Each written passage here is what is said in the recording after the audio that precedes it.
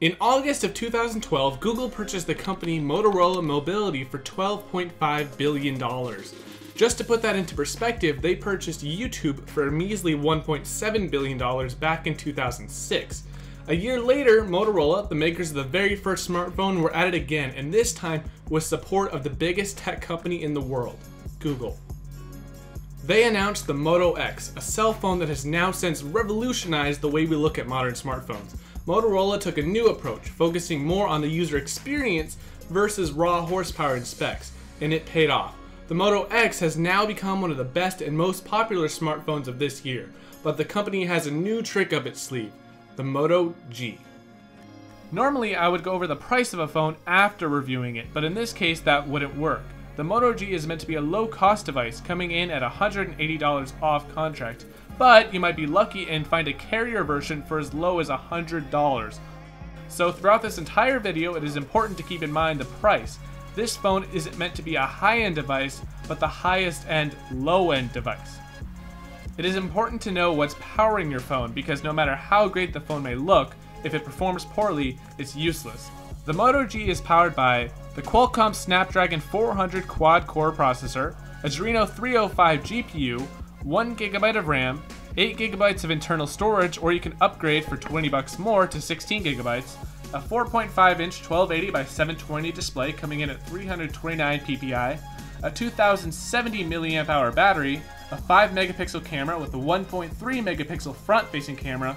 It's also a pretty small phone weighing in at 143 grams. This is a very capable processing package. I never would have thought that this phone would run so well.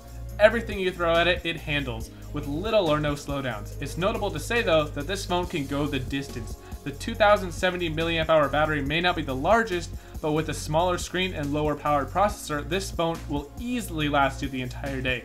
It even outlasts my Nexus 5 10 times out of 10, so if you're worried about battery life, don't be.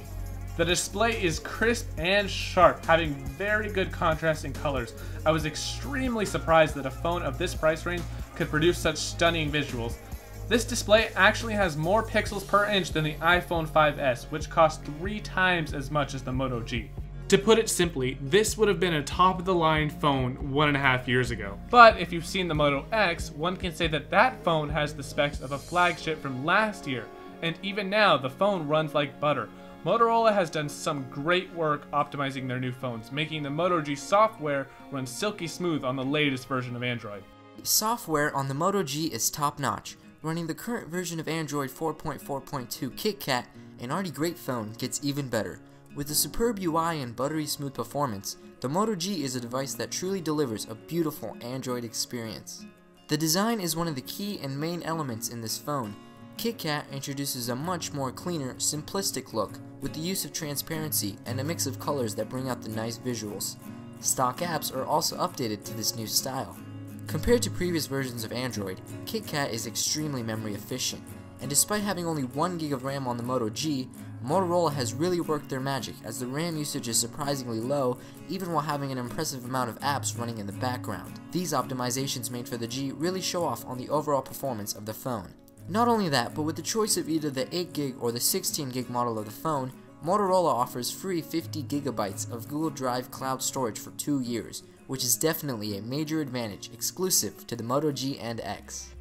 Capturing beautiful moments has evolved since the advancement in mobile camera technologies, and with the Moto G camera, all I can say is, you know, it's definitely not the highlight of the phone, so basically you're not going to be buying this phone specifically for the camera.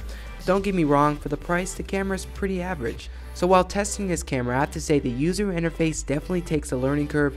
For instance, just tapping the screen takes a picture, and I'm sure that doesn't seem like a big deal, but honestly, when you're used to hitting a dedicated shutter button to take a picture, it just messes everything up. So I sort of had to forget everything I knew about taking photos on a smartphone just to be able to use this camera. Now one thing that stood out to me while using this camera is the amazing depth of field, at least while in close-up shots. So if you're into artistic looking shots with the foreground focused and the background blurred, this camera sorta gets the job done. I tried out the panorama feature and it works just like any other panorama feature on a camera as well as with the HDR mode. Now on the topic of modes I really like the burst mode feature which allows you to take a plethora of photos just by holding your finger down on the screen But don't be fooled, this doesn't anyway change your shutter speed settings. And speaking of settings, on the Moto G, you're not really given any camera settings to tweak. So if you wanted to mess with your contrast or your brightness or your aperture or your shutter speed, you're not really given the option to. Although there is a photo editor, and I have to say it's pretty nifty, all the effects that you can do, and you can adjust your brightness and contrast.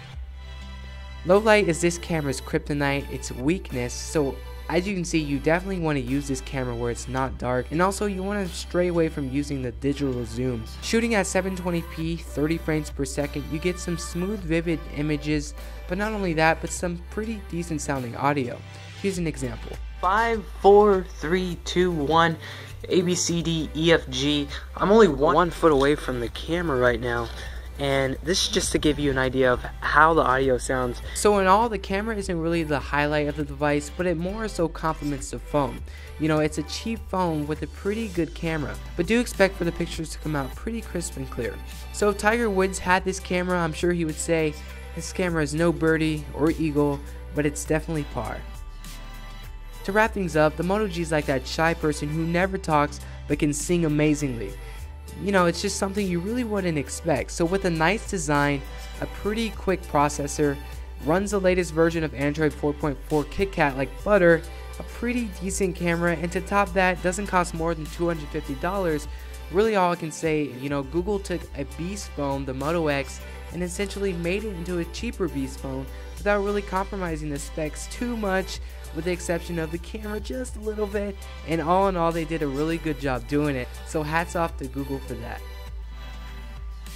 On January 29, 2014, Google officially announced that it was selling the company Motorola Mobility to Lenovo for $2.91 billion. Now the question is, how is this going to impact their current flagships like the Moto X and Moto G? Well, the answer is only time will tell. So make sure you stay subscribed to this channel, or subscribe if you haven't already, to be up to date on all of our future videos that are coming out. And make sure you check out Tony and Jai's channel for, you know, their part in this video. And that's pretty mm-hmm. much it, guys. I'll see you in the next one. Peace out.